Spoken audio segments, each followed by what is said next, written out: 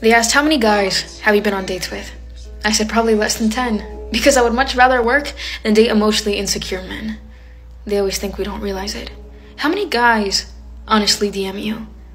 Like, how do I answer that question? I don't know. Probably a few. Must be more than a couple. Yeah, sure, I guess. And if you didn't have all this attention, I'd bet you'd like yourself less. Excuse me, what? He says this after he was late, but he didn't even pick me up, so I just had to sit there and wait. I waited more than once, like maybe this one would work. Bummer, bummer, bummer, he says with a smirk. Or suddenly you're together, a couple of years in, and have to ask for them to treat you better because of how horrible it's been.